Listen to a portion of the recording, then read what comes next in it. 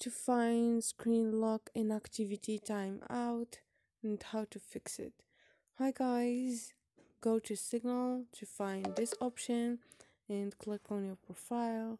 And here guys you can click on privacy scroll down and here you will find app security. All you need to do is click on time lock inactivity time out and here you can fix it. Once you are done just click on ok. And this is it. This is how you find this option. This is how you fix it. Hope this video was helpful for you. If it was don't forget to subscribe and like the video and see you on the next video